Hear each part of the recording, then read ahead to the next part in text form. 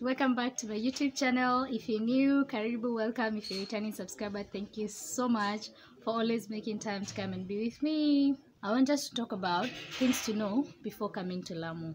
I'll give you tips, the do's and don'ts uh, from my experience. So just an overview of my trip. I was in Lamu for one week and it was a good time. It was a very, very good time. I really enjoyed the place.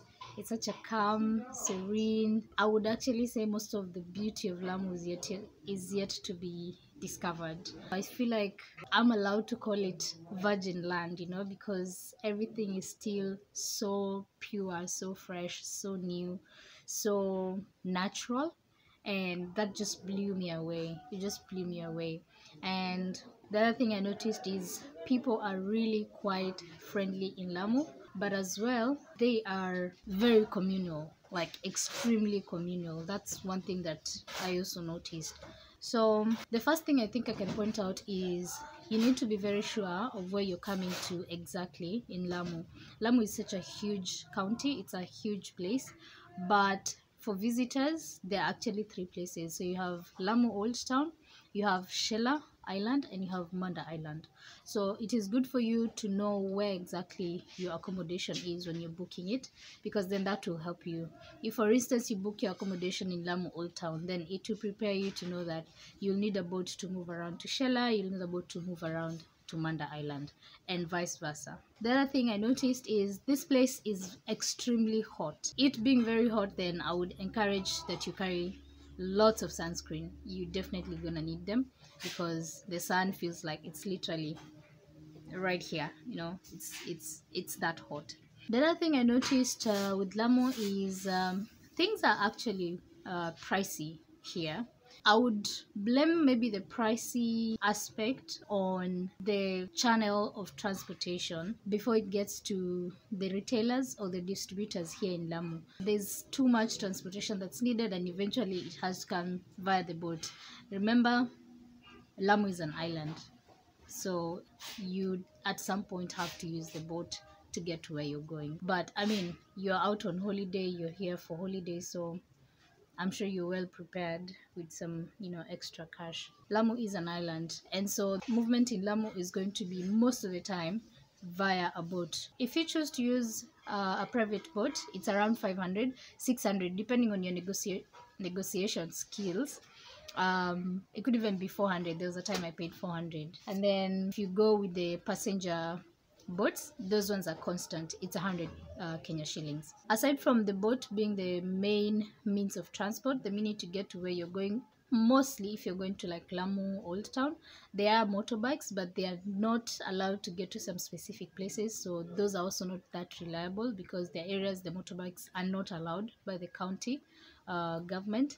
But if not then you can walk one or if you cannot walk then you can also take a donkey ride if you're comfortable to do it. The other thing is I've seen people say that you should try and avoid wearing skimpy things when you're in Lamu. Yeah, there's that aspect, but I mean, it's just because you want to respect the culture of the people here because most of the women, their culture here is still the Swahili traditional uh, kind of uh, way of dressing. That involves a lot of covering up from the head all the way you know the buibuis and the hijabs. That's not to say they're not people who wear skimpy things but you'd actually feel so uncomfortable. And i don't think you want to put yourself in that position. It can actually get so bad because like i remember there was this day when we were walking from the beach. So we just uh, had a swim and I was carrying my son. And I figured there's no need for me to dress up because we're not so far away from you know the the apartment. And so I just decided to tie over my my wrapper like a leso on myself and then I carried my son. In in a way I figured that's you know that's that's enough covering. But as I was walking because my back was out you would actually hear men saying jifunike jifunike that that means cover up you know. So you might want to just consider those small small things just to ensure you don't ruffle feathers with the locals here you're on holiday you don't want to get anybody mad right? Then when you go back to your hometown or wherever you're coming from, you can wear what you want to wear, right? Yeah.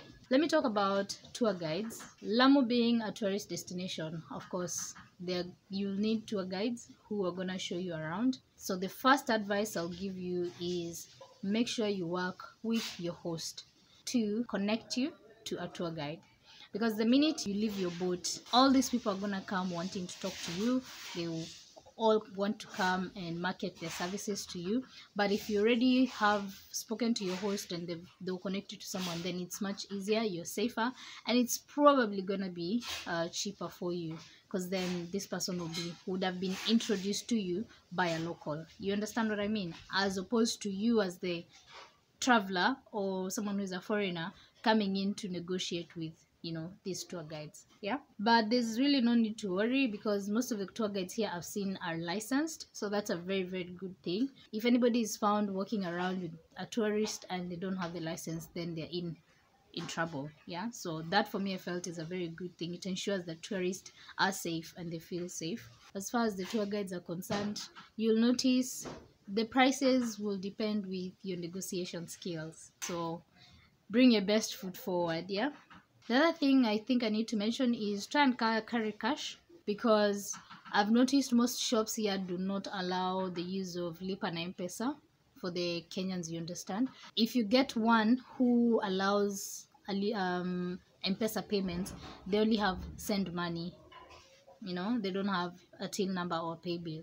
So i think it's just safe to ensure you carry uh, cash. That way you'll be safe. At this point allow me to talk about the activities or things to do in lamu. There are not so many activities to do in lamu like aside from chilling and hanging out on the beach taking a walk to the donkey sanctuary going for the sand dunes uh, going to see the sunset you know on the dhow cruise um, checking out the mangrove trees and Takwa ruins, uh, there's really not much that you can do. If you're to do any of those activities, because first of all, remember, movement involves a lot of uh, boat rides, then they tend to be quite expensive. So, Lamu is a place where I would recommend if you can travel in a group. You'd save more if you travel in a group. But if it's not possible to travel in a group and you're a solo traveler, try and be very, very open in terms of uh, being friendly and being open to, you know, being joined to other groups. That way you'll save money. But if money is not a problem, then you can go ahead and just do the activities alone. But as a budget traveler, because I'm traveling for YouTube and for work, I have to really save coin here and there. I try and join a group because I'm still a solo traveler right now, but still traveling for YouTube. And so I need to save a lot of money so I can do more travels. So, for instance, a boat ride or a dhow cruise to see the sunset. If I was to take the boat alone, I'll be charged around 6,000, 7,000 Kenya shillings. All right. But if we are a group, then that price can go down depending on the number. We can pay 3,000 Kenya shillings, or if we are more, we can even pay 1,000 Kenya shillings. So you understand what I'm trying to say. I don't know if you can hear the noise in the background. It's Friday, so it's mosque day here in Lamu.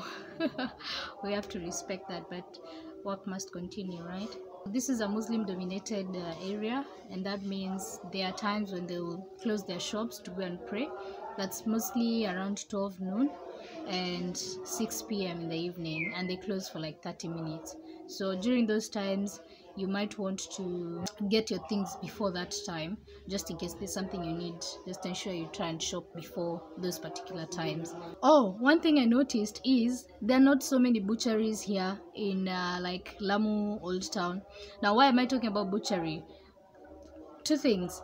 Uh, you can either be staying in an Airbnb where you need to cook for yourself, or you're staying in a hotel. But if you're staying in Lamu Old Town, most of the places is just Airbnbs where they have the kitchen and all that. So you need to buy ingredients and food stuff to cook. So most of the meat places that I was seeing is just like a shop that has all the meats there. There's no freezer, there's no fridge, and they only sell the meat in the morning. So at some point the meat is gonna run out. They'll close shop and they will you'll only find meat the next morning. You understand? So like there's a specific time when you where you need to when you need to buy your meat. and that's from morning up until around 11 there was a day i came out and i was trying to get meat at 12 and i didn't get anything like all the meat places were closed simply because they don't have a freezer or a fridge uh, you know in those stop or the, the shops and so they just sell the meat and they just sell the meat for the day close early and just go home until the next the next day.